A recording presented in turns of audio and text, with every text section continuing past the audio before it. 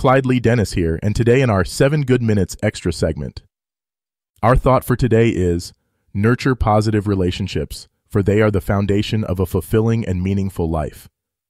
This quote underscores the importance of building and maintaining strong, positive connections with those around us. Relationships are at the heart of our human experience, providing support, love, and a sense of belonging. When you invest time and care into nurturing these bonds, you create a network of support that enriches your life and brings joy and meaning to your everyday experiences. Positive relationships help you weather life's storms and celebrate its victories. They provide comfort in times of need and amplify happiness when shared. By surrounding yourself with people who uplift, inspire, and encourage you, you create an environment where both you and those around you can thrive.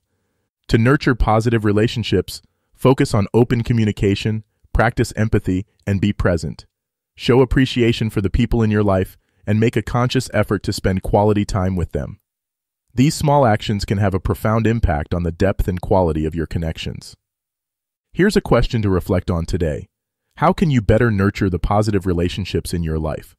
Let this thought guide you toward building a more fulfilling and meaningful life through your connections. Today's positive affirmation is, I nurture my relationships with love, care, and respect, knowing they are the foundation of a meaningful life.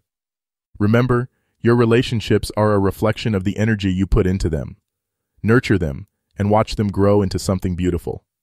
Until next time, I'm Clyde Lee Dennis, and this has been 7 Good Minutes Extra.